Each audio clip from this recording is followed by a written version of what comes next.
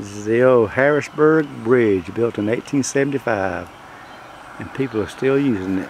It's a one lane bridge. One lane. And you see there, they, they're going to use it.